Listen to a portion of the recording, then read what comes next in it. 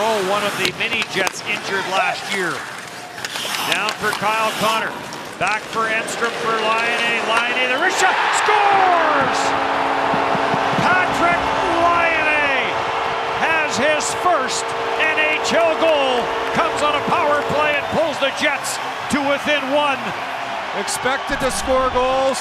That's exactly what he does. Some good work by Connor to keep this alive. And it's going to come to Laine. Just the wrist shot. Great screen by Stafford in front.